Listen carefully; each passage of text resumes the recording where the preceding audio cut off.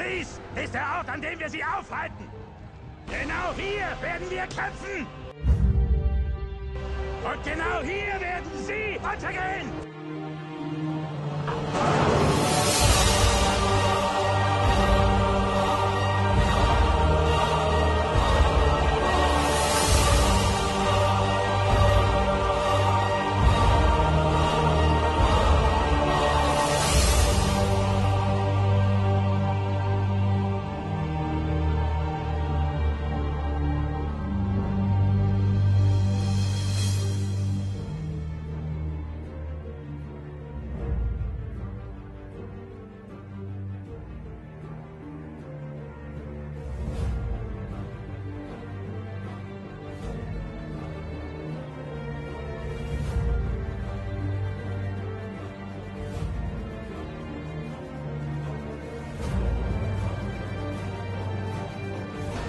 euch diesen Tag, Männer!